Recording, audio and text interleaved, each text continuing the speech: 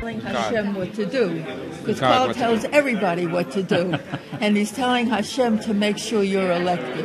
And I I, want like you that. to, and I want you to know, I knew her husband. She was once my honor. It was once my honor in Helsinki. And I can attest to the fact that is exactly praying That that, was you should Carl. come here. That's he was wonderful. very so was true. a special call. All right, are you kidding? Are you kidding? Thank you. Governor, we are so very proud of you. Well, and we're you. gonna, you know what? What's we this? will be praying very hard. Uh, I mean, doing the daily things. What we need to do is one thing. All I do maybe is give maybe we can get some Hashem extra help. We'd love to. Money. Pleasure. Thank you.